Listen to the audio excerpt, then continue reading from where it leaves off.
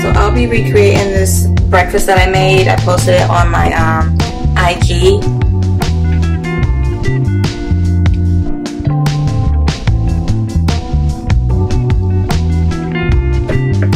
Um, I'm just going to show you guys how I made it because I'm hungry and I want to eat.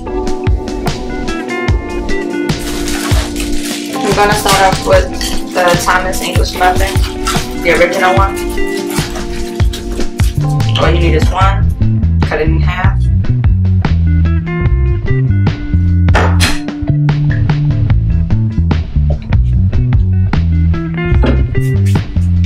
Put it in a toaster.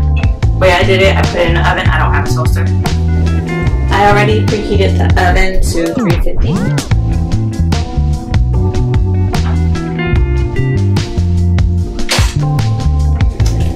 Use this Hillshire Farm roasted garlic chicken smoked sausage.